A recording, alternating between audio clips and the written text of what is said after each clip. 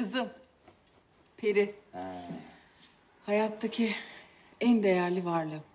Ama Hülya bir şey diyeyim mi? Gerçekten çok güzel resim ya. Yani gerçek insan resmi gibi ya. Hani diğer yaptıklarınıza hiç benzemiyor yani. Hülya siz böyle normal insan resmi de yapabiliyorsunuz ha? Yaşar, insan yani normal insan resmi, normal çiçek resmi yapmadan böyle resimleri nasıl yapsın? Yapamaz ki. Yani bu alfabeyi bilmeden roman yazmaya benzer. Anladın mı? Tabii tabii anladım tabii. Of, gerçi yani alfabeyi bilsek ne olacak? Roman yazacak hikaye bulamadıktan sonra. Hülya siz roman da mı yazıyorsunuz? Ah hayır canım yani mecazi anlamda söylüyorum.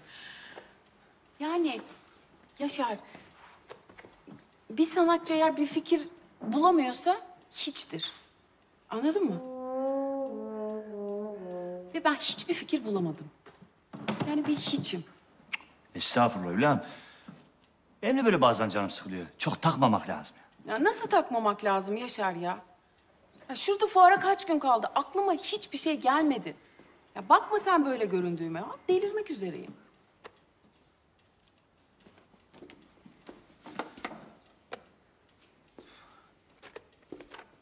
Hülya Hanım ben size bir şey diyebilir miyim? Yani tavsiye değil yani zaten haddim değil de hani. Ne demek canım haddim değil.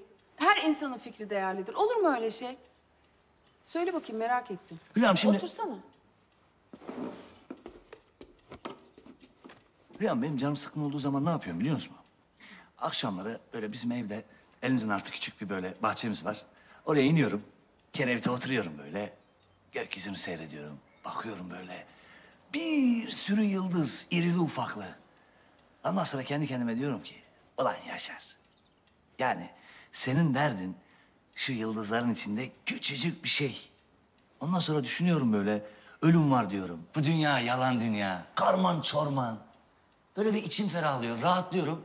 Sonra o karman çorman olan hayatın içine cumurlak dalıyorum vallahi. Ne yapacağım? Doğru söylüyorsun vallahi. Yani şu koskoca dünyada aslında o kadar küçücüğüz ki. Böyle bu evrenin kaosu içinde hepimiz kendi yolumuzu bulmaya çalışıyoruz. O yüzden çok canınızı sıkmayın. Her şey olacağına varır nasıl olsa. Ben şurayı bir toplayayım.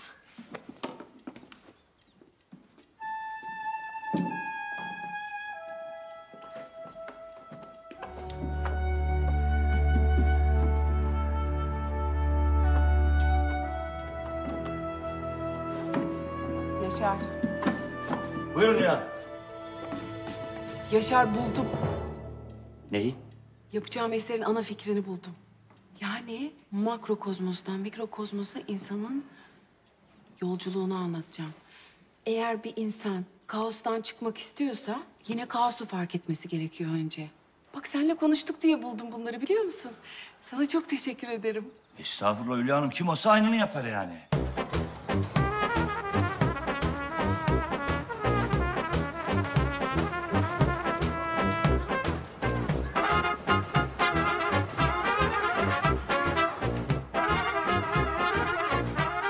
Selamünaleyküm Halit. Hayırdır ya? Hayatında başka bir bakkal mı var? Bak burada veresiyen seni hasretle bekliyor Yaşar. Kardeş, banttan yayın yapmaya değil, canlı şov yapmaya geldim sana. Bu ne la? Kaynanan altın dişlerini mi sattın? Ya bırak zevzekliği ya Allah Allah. Bana kahvaltılık bir şeyler tart şuradan. Kilo zeytin tart, peynir, işte helva, salam, sucuk. Ya ne bileyim ya, dokuz kollu ahtapot misali doldur poşetler işte hadi. Ah havalara bak. La aç tavuk. Bura buğday ambarı mı? Allah Allah. Al ya, al. Para dediğin insanın elinin kiri kardeş. Kire bak kire. Piyango mu vurdu la? Ya Allah'ını seversen bırak zevzekliği ya. Hadi şu siparişleri hazırla hadi. Üç kuruş para verdin diye dükkanı mı satın almaya çalışıyorsun? Bu para senin veresiyenin kovuğuna yeter mi? Ya oğlum idare et işte onunla şimdi ya. Önümüzdeki ay ben ona takviye yapacağım. İş buldum kardeş yeminle. İş mi? Ne işi lan? Heykel, heykel yapıyoruz. Atatürk heykeli mi?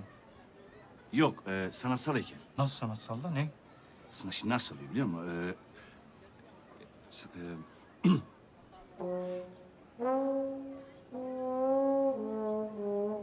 ya sen ne anlan sanatsal heykelden arkadaş? Allah Allah. Ver şu siparişleri hadi ya. Et aldım bozulacak. Sana antrikot.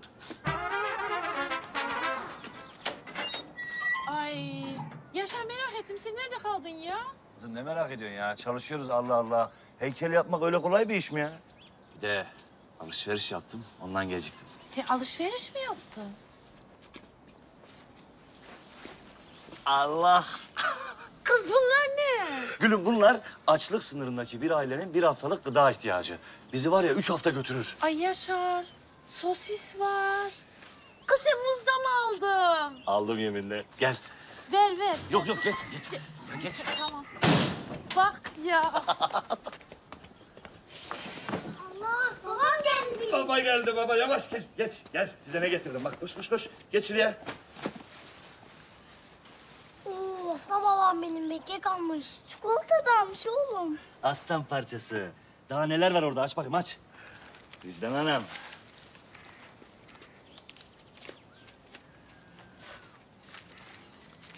Vicdan şunu al da kendine bir şeyler alırsın. Sayde.